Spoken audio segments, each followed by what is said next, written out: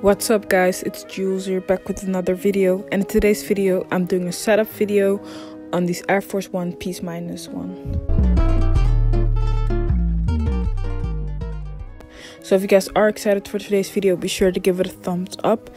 Subscribe on the channel if you haven't yet. I haven't gone for a lot of uh, Nike drops um, this week because most of them are very limited anyways but there will be another live cop soon. But today i'm just showing my setup. Um, i already generated some cookies. Because it's 8.15 right now i usually start my tasks um, around 8.15 uh, but i'm still really testing my proxies because this is going to be a Leo drop, so then I will have to get very fast proxies. So I'm testing uh, my proxies right now. So I'm using leaf proxies, and today I did do two um, lists, but I, I, usually don't do two lists, but I'll just see how that um, ends up. I'm running like 140 tasks, so I will be using so I generated like some 160, 170 um, proxies in case proxies get banned. Then reshuffling won't be that big of a problem during the drop because it's always nice to have some backup proxies. Okay, so after I have put in the proxies, I am going to start uh, making the tasks because I already got that count in. If you're searching for some good quality Nike counts, again, check the link down below in the description box because I got everything set up already. I've got some cookies for those NSA tasks already as well. So the first step is to search the product link.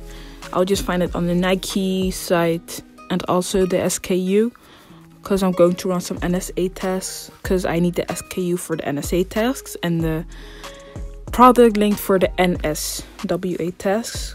Um, the SKU you can usually find it on StockX. I usually grab it from StockX. I'm not sure if you can find it on the Nike site as well though.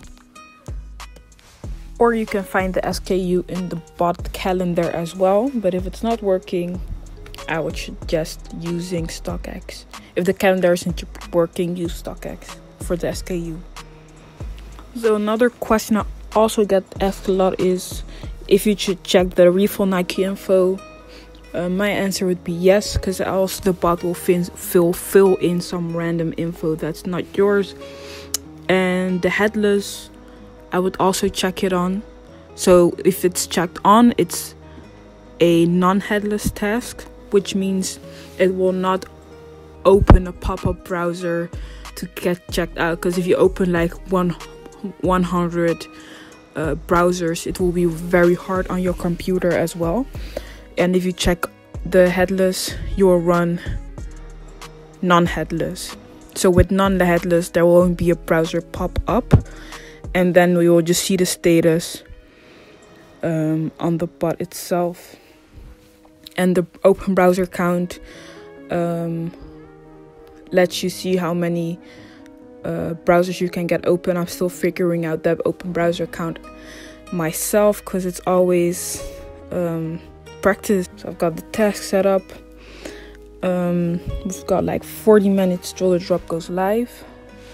So I'm about to start the tasks.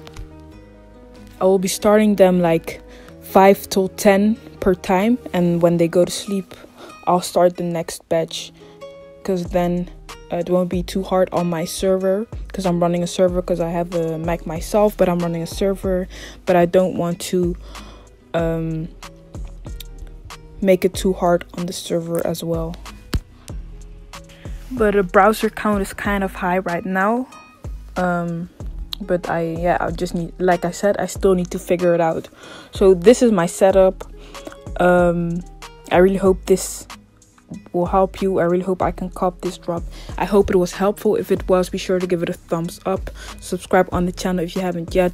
Leave a comment down below and I'll see you guys in the next video. Peace out.